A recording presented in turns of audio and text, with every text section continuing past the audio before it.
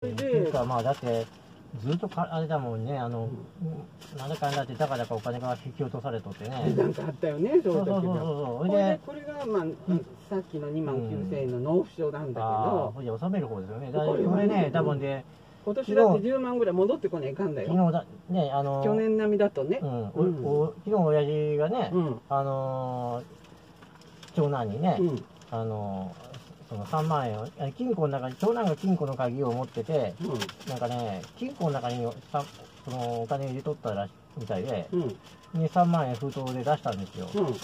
それでまあ親父がそのあこれを払うためのお金をっていうことでね渡してうん。だけどもうん。2階行ったら2階にね、うん。なんか大井に対してねうん。あのーなんかその3万円ね、うん。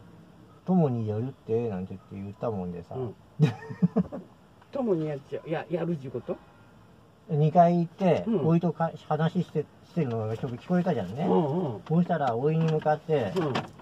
あのその3万円は共にやるだって。友にやるってと三そんなことばっかり言っとるみたいだね。そうそう。さああの人は。うん。もうででそれで私にやったなんつってね。それともちゃんにやった私にやったになっとるだら結う局んなんかね。